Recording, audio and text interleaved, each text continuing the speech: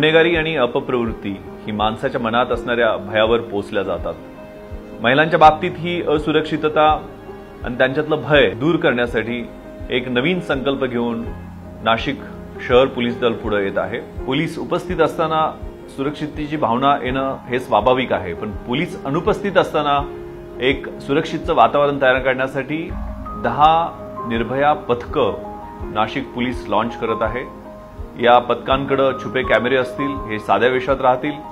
शहरातले साधारण साडेपाचशे हॉटस्पॉट्स निवडलेले आहेत ज्या ठिकाणी महिला आणि मुलींची वर्दळ असते. आणि या ठिकाणी छुप्या वेशातले हे अधिकारी आणि कर्मचारी पाळत ठेवून टवाळखोर छेडछाड करणारे यांच्यावरती कारवाई करतील.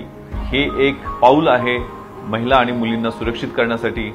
आपल्या सगळ्यांचं यासाठी सहकार्य लाभेल अशी अपेक्षा. धन्यवाद. जय हिंद.